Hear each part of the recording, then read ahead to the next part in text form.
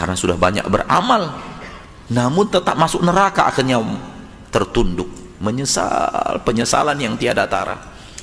Kata para ulama dalam ayat ini karena amalan mereka tidak sesuai dengan sunnah Nabi Muhammad sallallahu alaihi wasallam akhirnya tidak diterima.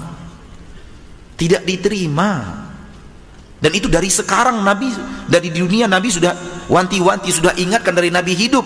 Yang amalan tidak sesuai dengan sunnahku ditolak oleh Allah Allah akan tolak amalan yang tidak sesuai dengan sunnahku. Maka kecintaan kita kepada saudara kita kecintaan kita kepada saudari kita ketika kita melihat ada amalan yang tidak, tidak sesuai dengan sunnah kita arahkan kepada sunnah agar diterima Allah.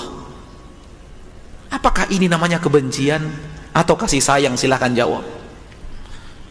Apakah ini namanya memecah belah atau ingin mengajak umat kepada jalan Nabi yang satu yang lurus? Silahkan jawab